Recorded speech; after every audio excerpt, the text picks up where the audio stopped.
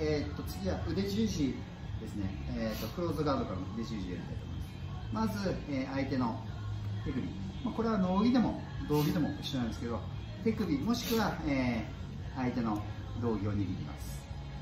まあ脳着でも使えるように手首直接持っちゃいますね。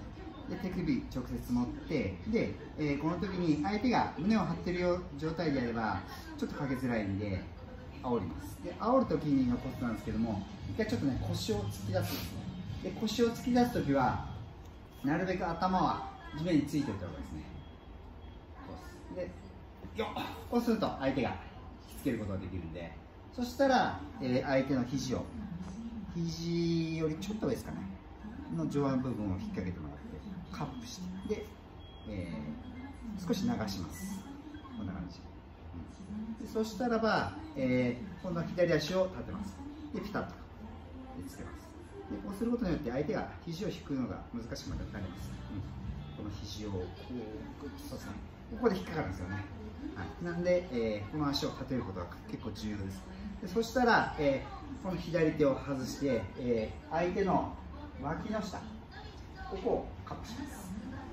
そうするとカップしやすいんで道着だとこう掴むんですけど、えー、脳着だとねこの脇の下をカップすると相手を引きつけやす。いですそしたらそれと同時に左脇を上げます、えー、右足をねで上げたらポンと止めますね。で止めたら、えー、この手を移動して相手の顔を押しながら足をかけます。でかけたらできればねつま先を下向ける。こうこうつま先立てる、えー、のもいいんですけどもつま先は下に向けた方がこれ力出るんですよね。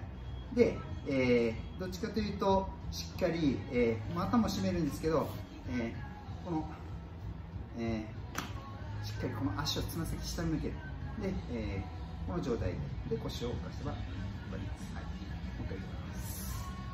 まず相手の手首を使いますね。で、えー、腰を浮かして煽ります。で煽って、えー、肘をカップします。でカップしたら、えー、左足を立てる立てたら少し移動して脇の下を掴んで引きつけて、えー、相手の脇の下を沿わせるようにして、えー、右足を上げていきます。上げたら、えー、止めます。トンで止めて相手がね胸を張らないようにしといた状態から、ね、左手を外し、え相手の首をチョップ。でこれでこっちに来るの止めるんですよね。